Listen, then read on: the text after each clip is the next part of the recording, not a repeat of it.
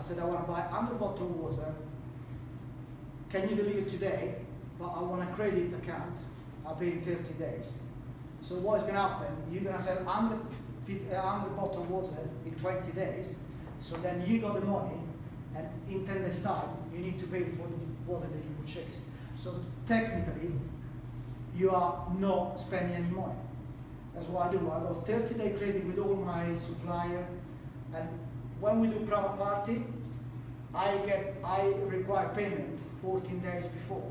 So what do I do? I take payment for the clients, and then I go and buy the goods with their money, not mine. So trade credit, I think, is the best because you buy, you order today, get delivered tomorrow, and you pay at the end of the month. So by the time you need to pay, you already sold the product, hopefully at a profit. So it costs you nothing to operate. So trade credit is the best way. But this is not a kind of finance business. It's a kind of ongoing expenses the business. Right. Internal source. Well, I already did say times basically my source was myself. So I lend money to my business. So so I will not pay corporation tax until the business pay me back. Family and friends. Right, I would say family is probably the better option because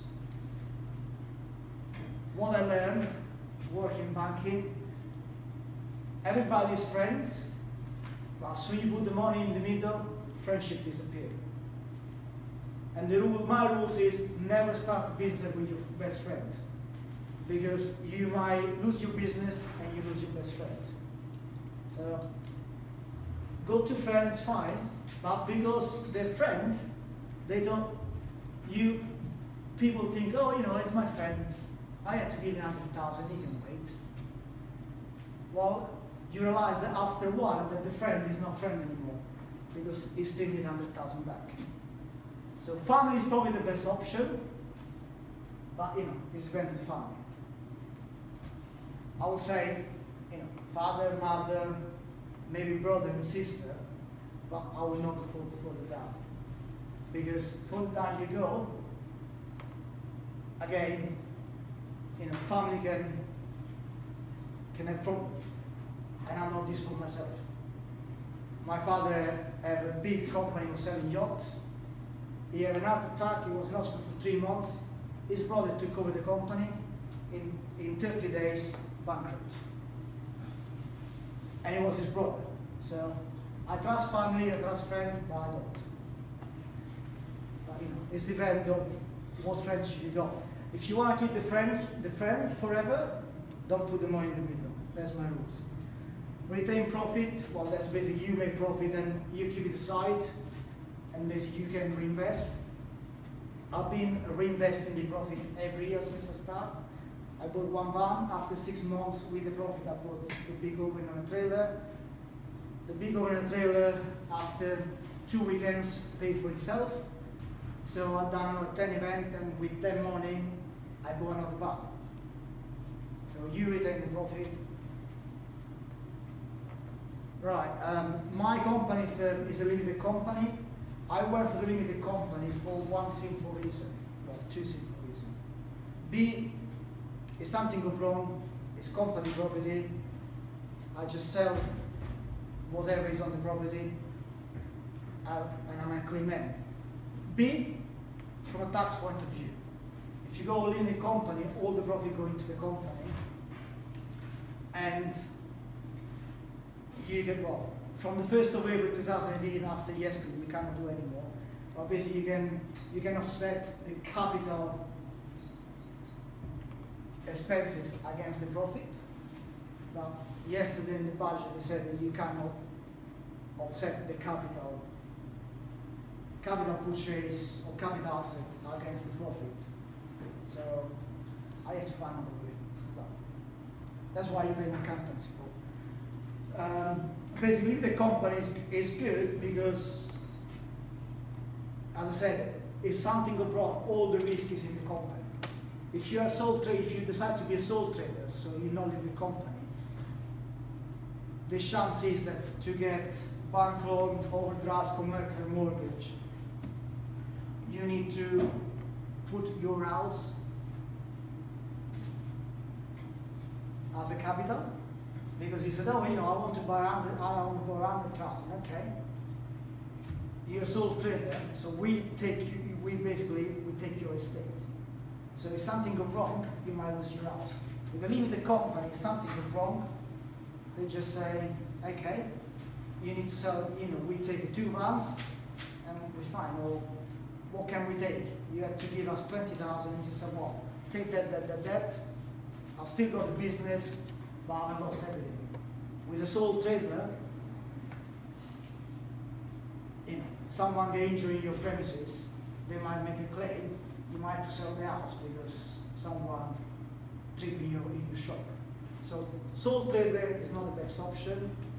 Maybe at the beginning is, but if you start making a good profit, just do a limited company as well. If you got a limited company and you go family and friend, you can offer them share in exchange of capital. Again, I will not offer share to my friend because if, like Microsoft, you start from a garage and then you offer 10% share to your friend and 10 years later your company is 100 billion pounds, your friend is going to be very happy, but you're going to be a bit upset because to give away 10% 10 years ago, you lost, you know, you had to give them quite a lot of money. You can do uh, venture capital, which is like kind of friend, but basically you create a limited company and you invite an investor to invest in the company. But an investor would like a percentage. You know, if you've been watching Dragon Den, they always go for the percentage.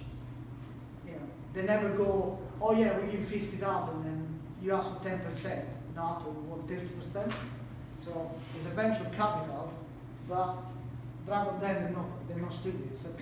We can see that this is making profit, so we want more capital, more share in the company. Business angel, don't know who they are. What's a business angel guy? Help me out.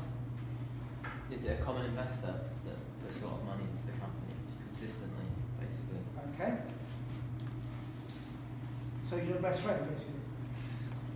Well, he, he can say, he starts saying he's your best friend because if you make profit, he's happy. So it's become your first friend. As I said before, when money is involved, friendship cannot be involved. Learn these guys because it's true. Anything else?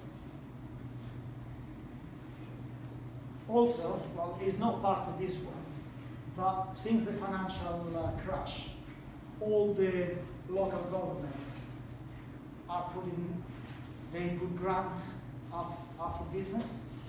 So basically every year they got a budget of like 10 million, uh, like Sevenoaks got 20 million, and they basically give you free grant. So basically they give you the money that you need to repay, but there's no interest. But they tend to do grant for businesses that actually help the community.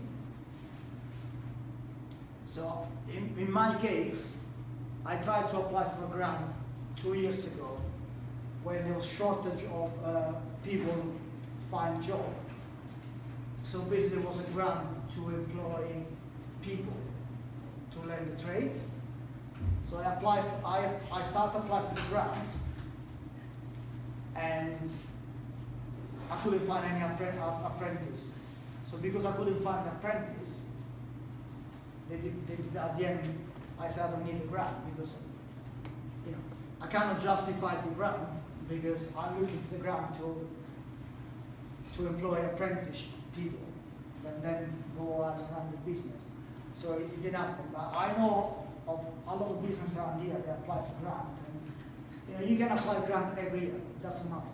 If you got a project and you can prove it's good for the community and you're going to employ people, the council is more than happy to give it to you. And then, of course, now we are in uh, digital, digital time. Have you heard about crowdfunding? Basically, it's a website and You basically said I want twenty thousand, and basically you go, you can have like twenty thousand litre investment because people can put one pound, people can put ten pound. But again, there's an interest, I think it's at the moment about seven percent. When you think the interest rate, the basic rate is 0.5, it's quite a lot. But if you got a good idea, you do get money. There was a brewery in um, Camden Brewery, they do beer. They decided to relaunch the business, bigger premises, they bought 10 pub, and they decided to do to funding circle, which is another government-based site. And in three weeks, they raised 1.8 million pounds because everybody liked beer, so they said, oh, it's a, it's a free investment because they were offering and basically a life for life for the life of the loan. Every year you get 120 liters of beer delivered to your house. So everybody's basically down the sun said, okay, 120 liter, I'm just gonna fund the 120 liter. So they were buying, you know, basically they bought 250 bottle of beer for 10 years every year. So basically for them was, I said, either I, I drink this one and go to the pub, or I just help a business growing and I still get beer. So that's way good. Anything else? Any question? Yeah, questions?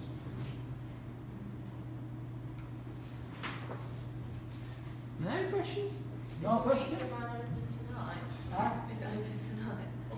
Oh, Oxted every Thursday, S Green on Tuesday, Edenbridge, Wednesday, Edenbridge and Woldingham, Lingfield on Friday, 24 March, we're gonna start doing the, a pint and a pizza at the new Westerham Brewery in Vegas Lane in Westerham, Oh, which is happened to be my brother-in-law, he, which is gossip, where basically, he was one of my business advisor because he used to work at HSBC for 20 years.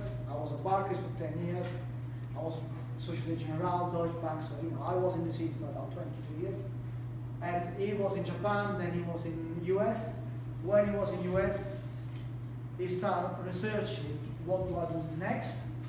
And he wa- yeah, I'll come to you in a second. He want to do what champagne because and he locates Westerham because from Westerham down to the coast, you got the same climate of France. So you can actually grow champagne. So he started doing research, and then the wife said, Hang on, you plant something today, and we get the money in seven years. I said, We got two children. This is not going to happen.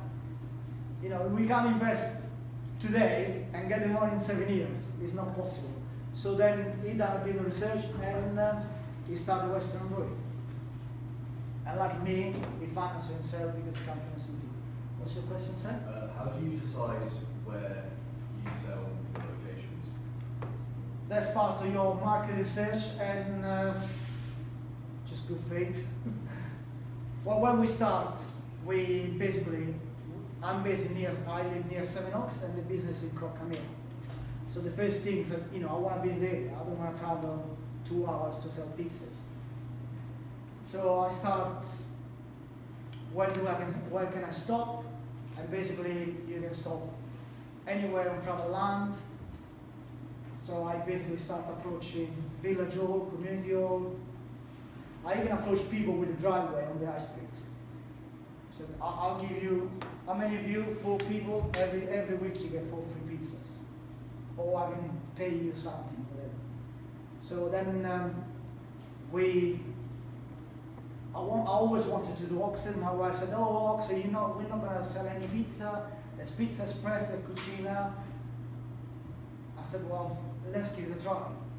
So we done a bit of marketing campaign, a bit of leafleting, and before I start, I've done basically two dry run. So basically, I, I, I invite all my friends around, and I was selling pizza for the van. And then I done one at church, at King, King Church Oxford, and basically asked them to invite all the families, so we have about 500 people, just to give you the idea how busy it was.